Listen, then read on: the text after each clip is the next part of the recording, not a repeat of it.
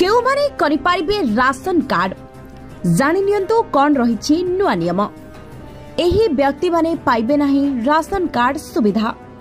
ଯଦି କୌଣସି ବ୍ୟକ୍ତିଙ୍କ ନାମରେ ଶହେ ବର୍ଗ ମିଟରରୁ ଅଧିକ ପ୍ରପର୍ଟି ରହିଛି ସେ ରାସନ କାର୍ଡ ପାଇପାରିବେ ନାହିଁ। କିମ୍ବା ଯଦି କୌଣସି ବ୍ୟକ୍ତିଙ୍କ ନାମରେ ଘର ଫ୍ଲାଟ୍ ଇତ୍ୟାଦି ରହିଛି ସେ ମଧ୍ୟ ପାଇପାରିବେ ନାହିଁ। ଯଦି କୌଣସି ବ୍ୟକ୍ତିଙ୍କ ନିକଟରେ ଚାରିଚକିଆ ବାହନ ଯେପରିକି କାର୍ ଏବଂ ଟ୍ରାକ୍ଟର ରହିଛି ସେ ମଧ୍ୟ ଆବେଦନ କରିପାରିବେ ନାହିଁ। ଯଦି କୌଣସି ପରିବାରର କେହି ସଦସ୍ୟ ସରକାରୀ ଚାକିରି କରୁଛନ୍ତି ସେ ମଧ୍ୟ ରାସନ କାର୍ଡ ପାଇବାକୁ ଯୋଗ୍ୟ ନୁହନ୍ତି। ଗାଁ ଗହଳିରେ ଯେଉଁ ବ୍ୟକ୍ତି ରହୁଛନ୍ତି ଯଦି ତାଙ୍କର ବାର୍ଷିକ ଆୟ ଦୁଇ ଲକ୍ଷ ଟଙ୍କାରୁ କମ୍ ହୋଇଥିବ ତେବେ ରାସନ କାର୍ଡ ପାଇପାରିବେ।